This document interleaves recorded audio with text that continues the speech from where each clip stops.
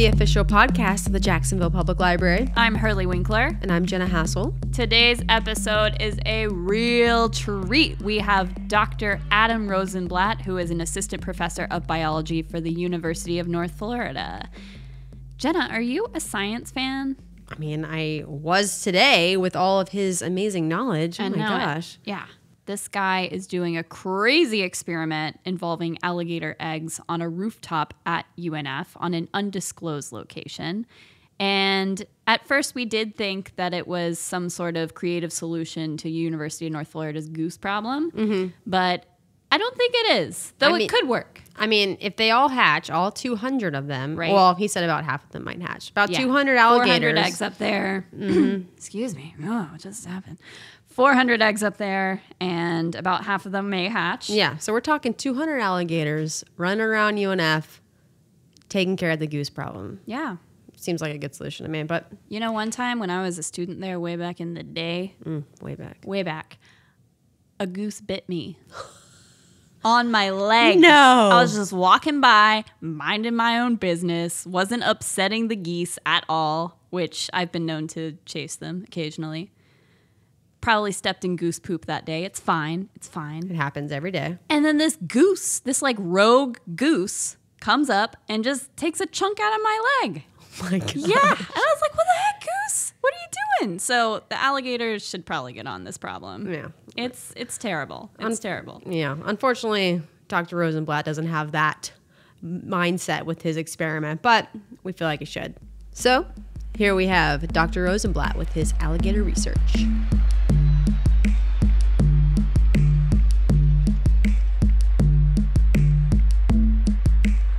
Rosenblatt, thank you so much for coming on Completely Booked today. We're excited to have you. Thank you for having me. This is a very exciting time. Yeah. So tell us a little bit about what brought you to the Jacksonville area. You just moved here last August, correct? Yes, I'm a newbie, just been here for less than a year. And what brought me was the job that I have now, where I'm an assistant professor at UNF um, in the biology department. And yeah, that's what brought me down here. And I was really excited to come back to Florida because I did my PhD in Miami. Oh, okay. And that's where I first got involved with alligator research down there in the Everglades. And so when this job became available and I saw it, I was like, I have to apply because I could do more alligator research in Florida. It's the perfect place. Yeah, definitely. Yeah. Awesome. What do you like about Jacksonville so far?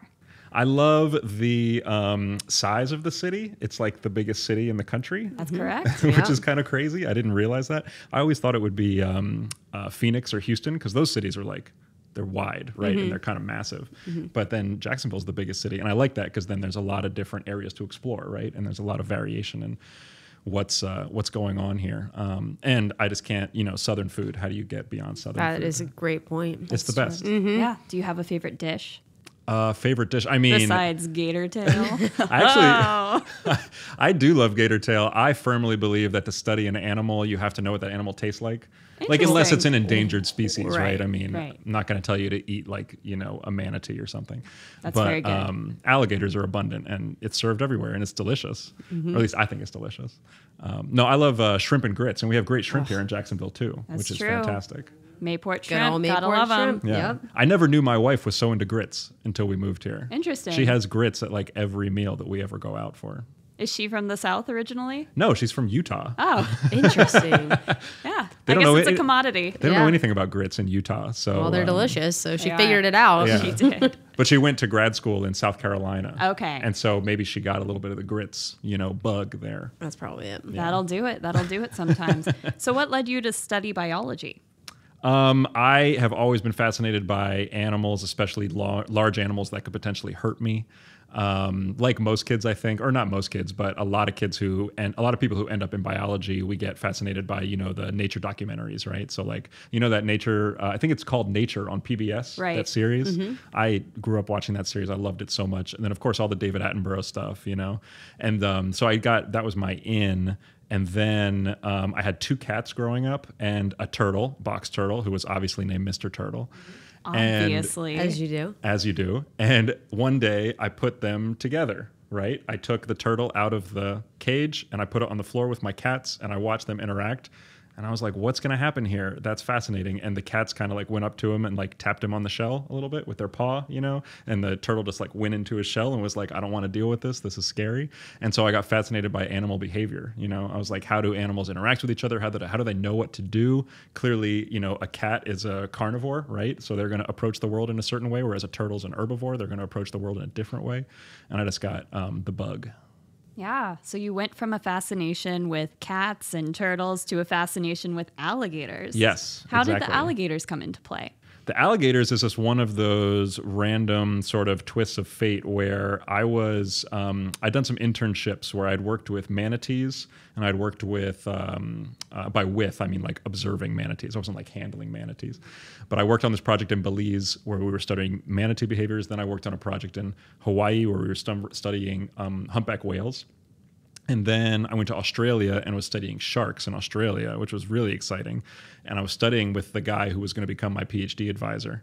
And so we were talking about project ideas for my PhD. And I said, you know, you're a shark guy. You know, I have some ideas for some shark research. And then he said, you know, I've been looking for somebody to start an alligator program at in my lab. And I said, I'm in. That's it. All he had to do was say alligator. I didn't know anything about alligators. I had never. D- thought about alligators really because I grew up in the Northeast. I didn't know anything about alligators, but he said, um, you know, that the opportunity was there, and I was like, I jumped all over it. I was like, yes, that sounds great. Wow. Yeah. so, what first struck you about the alligators? What was the first thing that really interested you in this species? Um, well, from like a popular perspective, it was how um, they've been around for such a long time, you know, like alligators, and n- not the alligator species, but alligators, the ancestors of alligators, what we would call in the crocodilian sort of order, right? There's an order of crocodilians, and the crocodilian order has been around for about 200 million years. Um, you know, they've been around since uh, um, the time of the dinosaurs and even after the dinosaurs.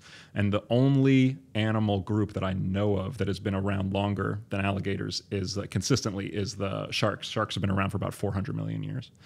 Um, but so I'm, you know, how can an animal group like survive for that long? Like, you know, you think about the thing that killed the dinosaurs, the asteroid, right? The KT extinction event, and that killed all the dinosaurs. But that, you know, the crocodilians survived just fine, and they're still with us today. So like, they're these really resilient animals um, that are able to adapt to all kinds of different conditions.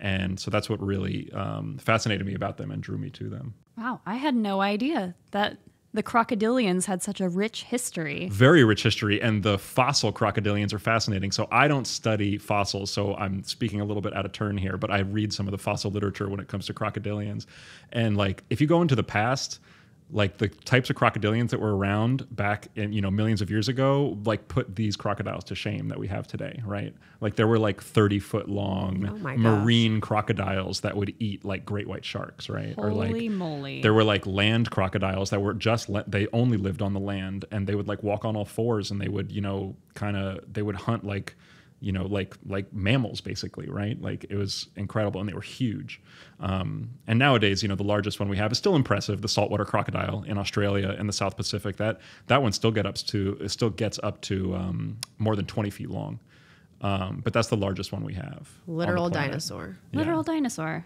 Oh, real. but a question, but uh, a correction, not a literal dinosaur. It's not no, just descendants of. Yes. Right? actually, not related to dinosaurs. I know a lot of people think that alligators are living dinosaurs, crocodiles are living dinosaurs. So dinosaurs and crocodilians were around at the same time, um, and they descended from the same common ancestor, which are called archosaurs.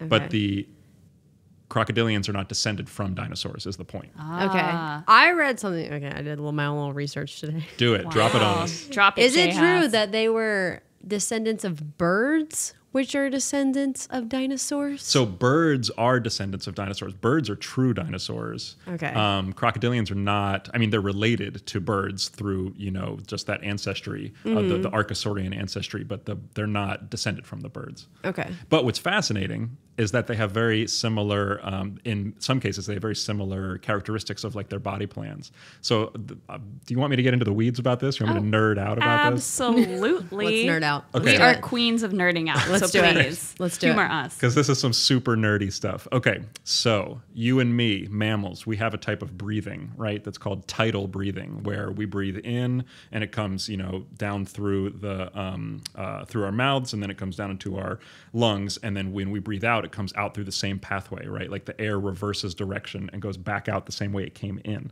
Birds do not breathe tidally; they breathe circularly where the air comes in one way, but then it goes around kind of in a U shape, and it still comes out their mouth, but it comes out from a different hole, if that makes sense. Like an, another hole that leads to the mouth. Does that make mm-hmm. sense? Right. So they're breathing in sort of a U shape, and that's a very efficient way of breathing. Like we're able, our lungs are able to, and the way we breathe, we're able to extract like, I don't know, 60% of the oxygen from the air that we breathe, but a bunch of the oxygen we don't use. We just breathe it back out again. Um, birds are able, depending on the species, they can extract like close to 100% of the oxygen, so it's much more efficient. And when it comes to alligators, it was just discovered a couple years ago that alligators breathe in the same way that birds do, where they breathe in that circular way rather than a tidal way. So it's just showing how closely connects, yeah. connected and related they actually are. Yeah. That's fascinating. I didn't even realize things breathe differently. Things breathe The very more differently. You know. Yes, The seriously. you know.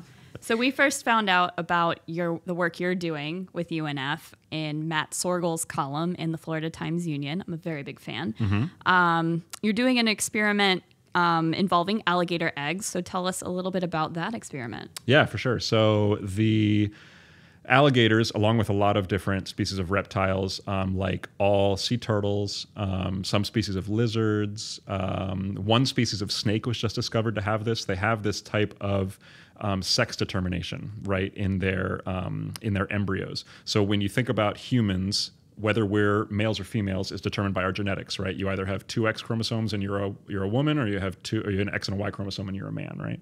Um, and that's true for all mammals. When it comes to these reptile species, including the crocodilians, the uh, sex of the offspring is determined by the temperature of the nest, right? So it's call it's called temperature dependent sex determination and it's kind of the strange thing you're like why would that be the case like why why isn't everything just determined by genetics um, and the idea is that in these reptiles there's some adaptive advantage to having a female at one temperature and a male at a different temperature that they somehow are able to um, capitalize on being um, being hatched at those different temperatures and then produce more offspring throughout their life. And that's been proven for one species so far, but it's a very difficult um, theory to prove, unfortunately. Um, so right now it's more of just like still an idea.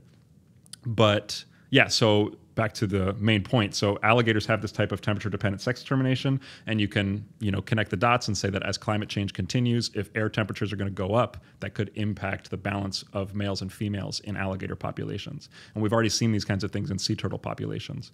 So to my knowledge, I'm doing the first experiment to manipulate the um, temperature environment of, you know, nests that I'm uh, controlling and seeing how the balance of males and females that come out of those nests might shift based on the temperature treatment. Interesting. So Yeah. how many eggs do you have? Total, we have 400 eggs. Wow, that's a lot of alligators. It's a lot of potential alligators. Potential um, alligators. Potential alligators because they're not the, they're not all going to hatch. I'm going to tell you that right now. Okay. In the wild, um, not all eggs in a nest hatch. Like it's very it's rare for that to happen um, for a variety of reasons, right? Like something maybe the temperature got too high in a certain part of the nest and it you know killed the embryo or whatever. Um, so we have 400 eggs. I'm expecting maybe between 200 to 300 alligators to hatch. Um, and they're arranged in 20 different nests. Each nest has 20 eggs in it, and we're going to see what's the balance between males and females that come out. So how did you arrange the nests? The nests are arranged according. I tried to mimic a real nest as much as possible. So in the wild, real real alligator nests, they have a base of uh, you know dirt mostly, like or mud, um, if they're built in like a wetland, and then they just like pick up all of the plant material that's around and they pile it up into a pile to make a nest mound. Um, and so we used hay because if hay is just dried grass, right? And like alligators in the wild will also use grass. And so we put down a dirt base in these kiddie pools, and we put the grass on top, the hay on top, um, and then we covered some of the nests with these uh, structures that act uh, like warming, sort of passive greenhouse warming devices to warm up the nests. And where are you keeping the nests? The nests are on the UNF campus.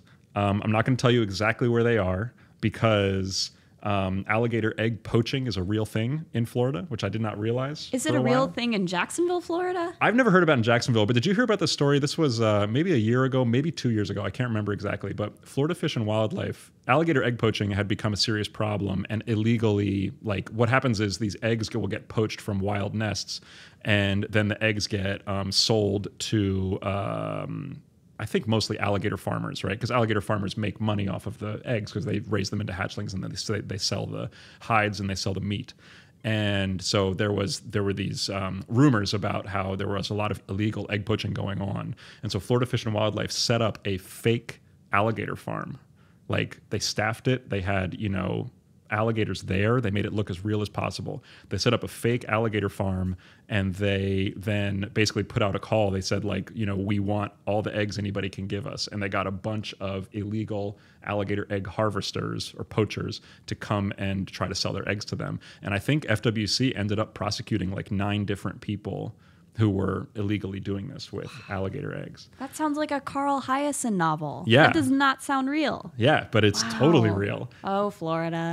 I know. Always a good story. Always a good alligator story. Seriously. And so these, uh, so yeah, I'm not trying to reveal where they actually are on the UNF campus because I, I don't want anybody to know exactly where they are. Um, but yeah, they're on the UNF campus somewhere. On a roof, right? On a the- rooftop, Okay. yes. And is UNF preparing for its own kind of Jurassic Park event here? Like when all them They, They hatch. should. They should do a fundraiser. they're not. Somebody, one of my students wanted us to have a hatch party, like like a gender reveal party. Oh, Like, that you would know, be gender reveal hilarious. parties? That would be hilarious. But I told them, you know, this is a scientific experiment. I don't really know if I want to do a gender reveal party for like 400 alligators. That's a, sounds like a lot of work to me. That's fair. and we already have a lot of work because just taking care of the animals is going to be you know its own uh, endeavor That's probably a higher priority than the party. yeah, Yeah, much that's higher priority That's Fair. okay. That's fair. yeah That is fair. i appreciate your understanding of course.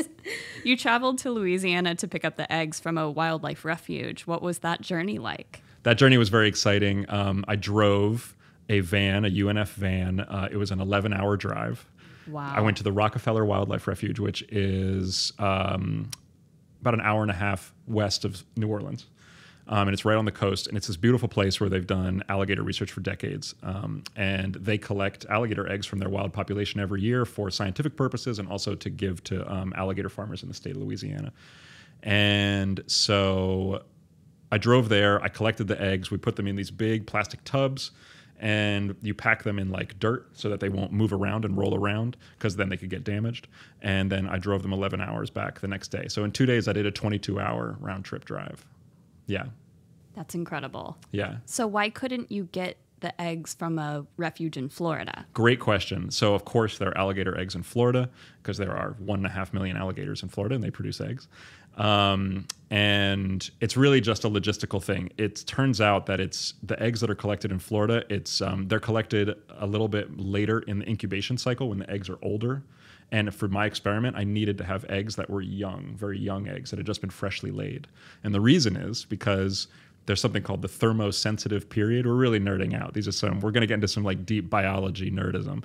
Let's do it. I'm ready. The thermosensitive period is when the sex is determined, right? So whatever the temperature is during the thermosensitive period, that's what's going to determine whether an alligator becomes a male or a female.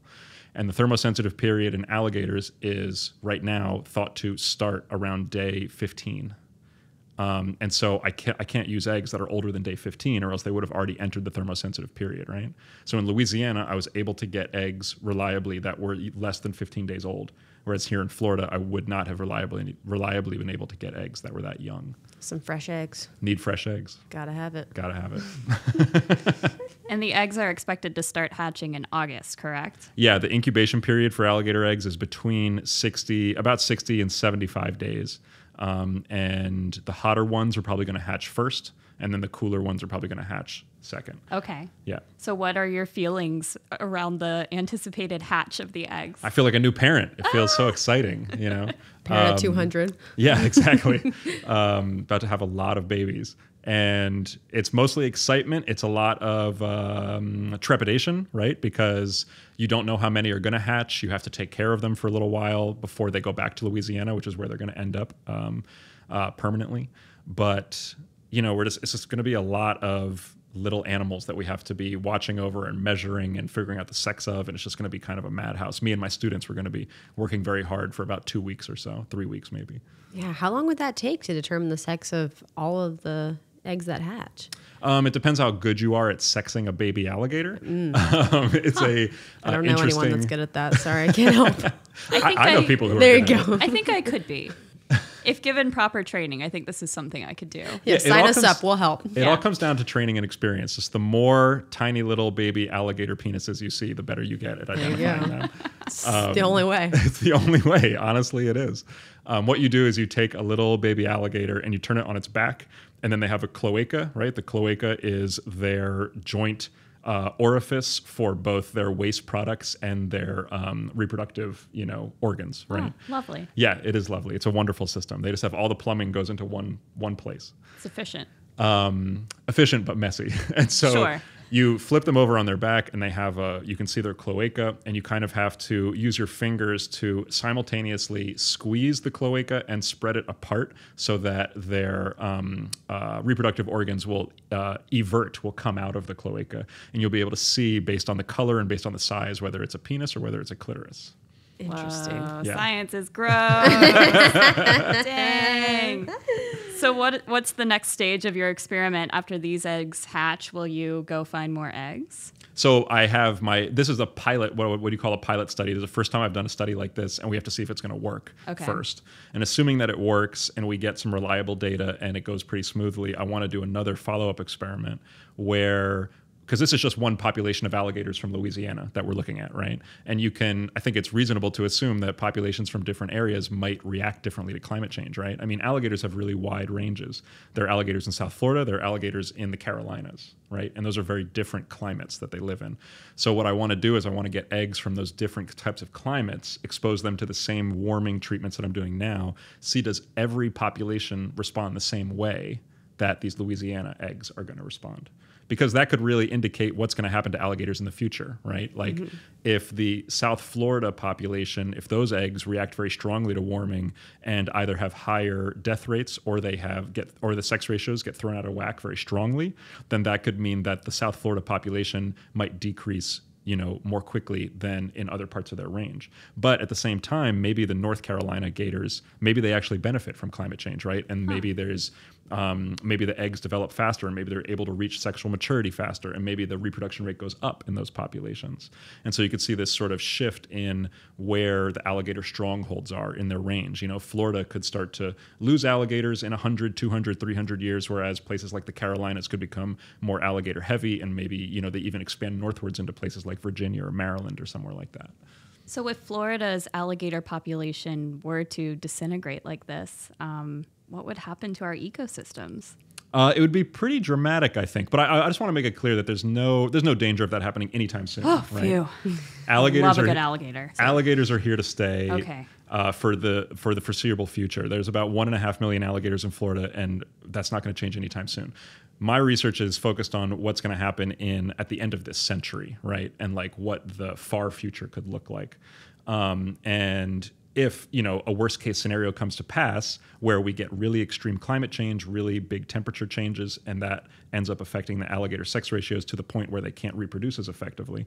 If we lose alligators here in florida i mean one it's changing like that's our iconic state animal you know? Like whenever anybody thinks of florida the first thing you think of is either alligators or probably like South Beach, right? Like I feel like those are two the two main or hurricanes. Right. Probably alligators and hurricanes are the two main things you would associate with Florida. Most people who don't live in Florida.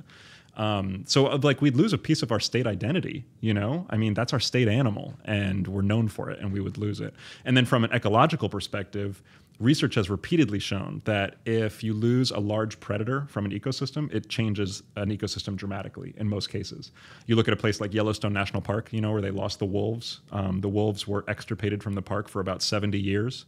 And in those 70 years, the park, you know, the vegetation changed, the types of animals that were able to survive there changed. And it was uh, a lot of it has been tied to the fact that these wolves weren't there sort of controlling things and helping balance things out. Um, and that's been shown for uh, many populations of large predators all over the world. World. Um, so I would assume the same thing would happen with alligators. If we lost alligators, you know, you lose that sort of uh, top level predator that's helping to control different prey populations, keep things in balance, um, and things would just things would just change. I'm, I wouldn't say they would get worse, you know, but because I don't know what worse means in that context, but it's just that we might have you know some other um, animals that used to be uh, that used to benefit from there being alligators around they might disappear because they don't have the alligators protecting them anymore you know. Yeah i mean one of the things i can think of you guys ever been to st augustine alligator farm Yes. I haven't, no. it's a Oh, fantastic we place Gotta I need to go, go. Jenna. I need to go. I recently went, um, like maybe a month ago, and watched one of the feedings, and Yeah. it is wild. Yeah, there are no, it's wild. hundreds of these alligators, and they're crawling on top of each other. It's totally amazing. Totally amazing. And if you so St. Augustine Alligator Farm, it's a great example of the benefits that alligators can bring to an ecosystem. So um, if you go there during the bird breeding season, right? So roughly like January, February through um, actually I think they're still breeding right now. Um, so wading birds will flock to St. Augustine Alligator Farm. We're talking like roseate spoonbills and you know egrets and herons and just everything you can think of.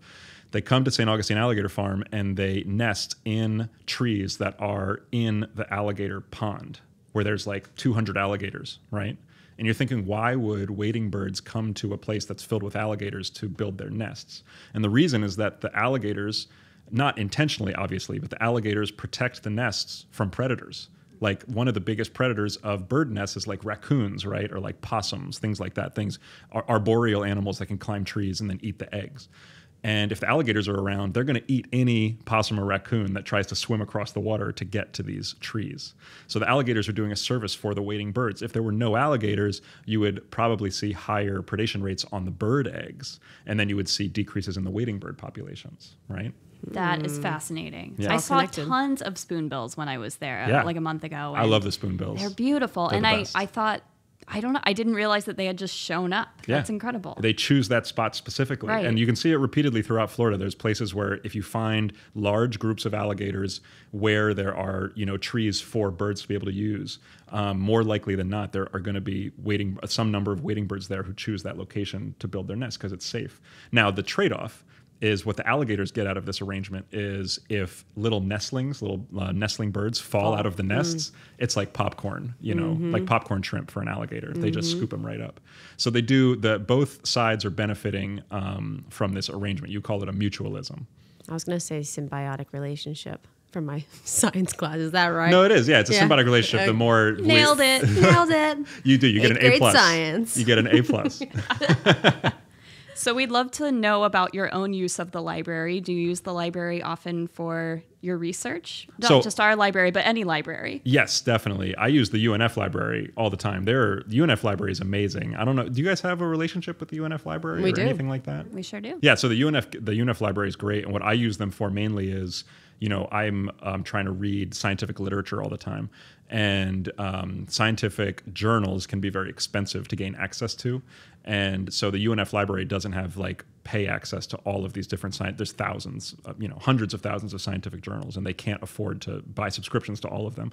But um, there's something called interlibrary loan, where you go to, you know, your local uh, librarian and you say, you know, I'm looking for this article from this journal. Can you find me a copy? And at UNF, they find me a copy within like a day or two, and it's amazing. I've been at universities where it takes like a month and UNF does it in like two days. And I'm like, oh, my, this is amazing. So you can get almost anything you want without the university having to pay those subscription fees. It's really fantastic. Right. I think that's one of the little known secrets of libraries is that we all share. Yeah. And whatever, you know, we've probably borrowed books from the UNF library um, here in Jacksonville. right. Jacksonville Yeah. Public Academic libraries and public libraries do it too. Yeah. Mm-hmm. The and interlibrary I- all is the amazing. academic libraries are linked with each other. I mean, not all of them, but you know, like usually, like in the state of Florida, all of the state libraries, um, this the all of the state university libraries are linked to each other, right? And they can share materials. Right. So it's like we can, even though we only have the UNF library, we can benefit from the Florida State Library and from the University of Florida Library, and take advantage of their collections too. And it's just, it's a great system.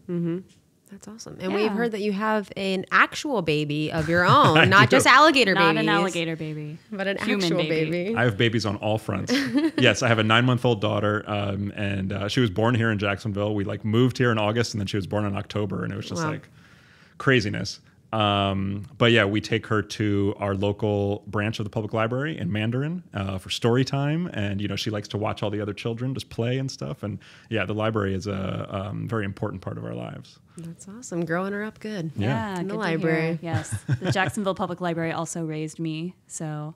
And I'm sure there And were some producer Brian. alligators and producer Brian, and I'm sure there were some alligators hanging out in our libraries at some point. There think had to be. Southeast I mean- has like a little pond in the back, and I've heard they've seen a couple. Ooh, Check it out. I mean, almost it's a safe to assume that almost any body of freshwater in Florida has an alligator or had an alligator at some point. Mm-hmm. And that's one of the safety things I tell people, you know, is that if you're worried about alligators, and you know, people who grow up in Florida know this, but if you come from out of state, you don't usually know it. That um, you should assume that almost any water body has an alligator in it, and you should be cautious about that. Mm-hmm.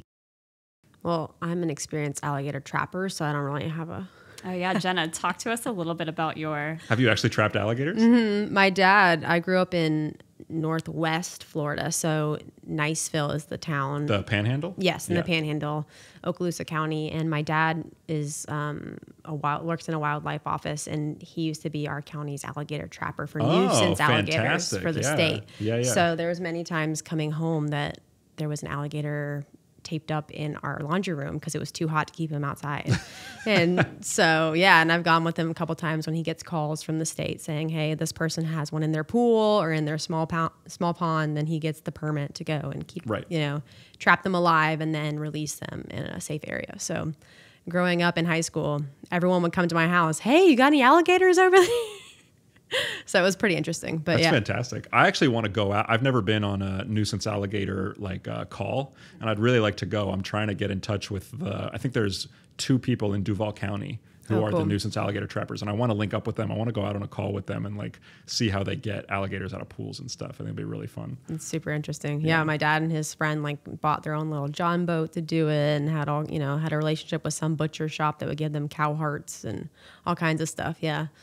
To yeah, they like throw it the put it on a treble hook, throw it over a tree, tie it somewhere and then come back later and see if anything's on the line. So they would actually bait the alligators. They wouldn't try if to they catch were them. if they were small enough. Like Yeah. if they could see that the alligator was pretty small, they would do that. If if not, they would go in the boat and like harpoon them or yeah, something. yeah, yeah, yeah. Gotcha. Mm-hmm.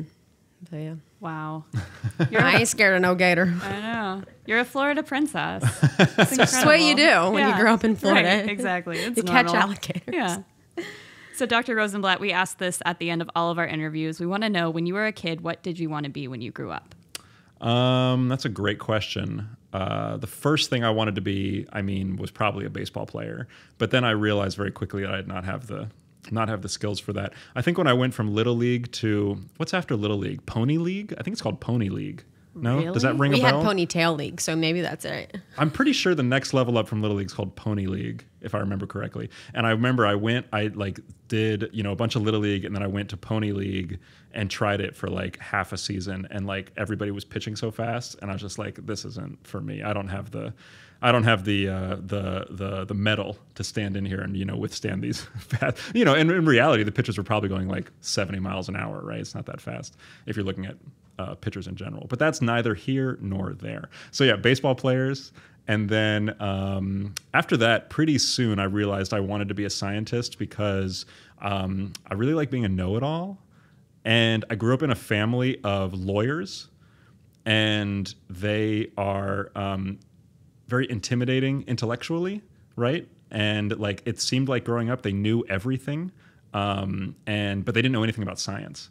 So I was like, science, that's where I can make my mark, and I can be the know-it-all in my family in the scientific realm. So like probably around like twelve or thirteen, I knew I wanted to be a scientist. Wow. Yeah. What a smart move. Then they can't tell you if you're wrong or not. You could have just made stuff up and they would have no idea. Exactly. My mom is a walking dictionary, and if I like mispronounce anything or if I like use a word wrongly, and she's like, "That's not how that word is supposed to be used," she'll call you on it immediately. You know. But now I have all of these scientific words that she doesn't know, and I can use them however I want, and she doesn't have to. She doesn't have to correct me. Haha, got you, mom.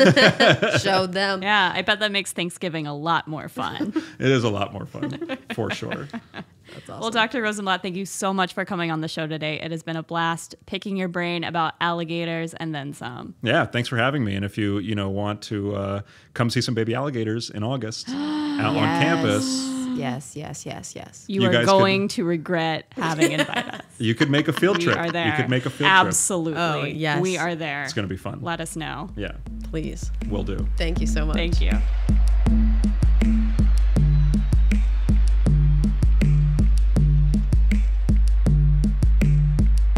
So we spoke with Dr. Rosenblatt a month ago. That's mm-hmm. what you just heard. And today is, of course, a month later. And we have just gotten back from UNF where we got to meet nine baby alligators. They hatched you guys. They it worked. hatched. They did it. Oh, I they were know. so cute. I know. Did you have a favorite one? I don't know. I like the little pile of all of them. Just Yeah. like they were all laying on top of each other, I guess, because they like to be warm and um, they're just so cute. They're They all were so sleeping. he was saying that it's like really, I guess, tiring for them to hatch in general. It's just like a long, I don't know, like energy exputting process, I Yeah, guess. So right. they all just like they don't eat for like the first four days because they just sleep and like kind of regain energy. Yeah, and they're getting nutrients from their yolk sacs still, Yep. which is so cool. Oh my gosh. Yeah, Biology, man, it's crazy. I know. I wish it was this interesting when I was in school. Same. I think if there had been baby alligators involved when I was in school, I would have been way more into science. Yes. And we got to go on the roof of the undisclosed building to see all the other nests that have not hatched yet. We did. It was so cool. And if you go on our blog, jaxpubliclibrary.org slash podcast, you can see me calling to a nest. Dr. Rosenblatt taught me how. And let me just tell you, I think I'm a pretty convincing alligator mother. Don't you think, Jenna? Yes. Yeah. Were you like looking around thinking, oh my gosh, is there an alligator? there's a mama nearby?" alligator here. No, it's just, Just Hurley. Hurley. Just Hurley. So the reason that you do this apparently is they're underneath these like barrels of hay, not barrels, but you know, like little mound of um, straw. And so he says that he'll stick his head in there and then call like a mama alligator and listen to see if the babies underneath the straw have are calling back, so he can tell if they've hatched. So And Hurley got to do that. I did. I did. I did not hear any calling back to me, though I pretended to. Mm-hmm. And everybody chuckled because it was pretty funny. Sure, hilarious. So funny over here. Yeah, it was such a treat to meet all nine of them fresh into the world, So blinking their little eyes open, closing them very quickly because they're very sleepy. so sleepy alligators. They're so cute. They were great. So I guess they're going to stay at the Jacksonville Zoo for the next month. They are. So some professionals can care for them. They're getting the best care, people. Rest assured. And he, oh, that's the other reason he said that um, since they're so sleepy, he hasn't been able to determine their sex yet to see Right. If his hypothesis was correct. Exactly. So the experiment is not yet over, but we will keep you all updated because we are definitely staying in touch with Dr. Rosenblatt so we can know the results of this experiment. It's fascinating. Make sure you subscribe to our show wherever you listen and rate us, leave us a review Five if you stars. would like. Five stars, please. Five of them. Nine of them. Nine for every baby alligator we met today. Yep. But five will do. Mm-hmm. There were five alligators there At least. like us on Instagram and follow us on Twitter and Facebook at Jack's Library or on Facebook it's Jacksonville Public Library. Look it up. Look it up. There will be photos of the baby alligators. Don't miss those on our website at jaxpubliclibrary.org slash podcast. Slash podcast. This podcast was produced by Brian Thomas, aka BT, aka producer Brian. Goodbye.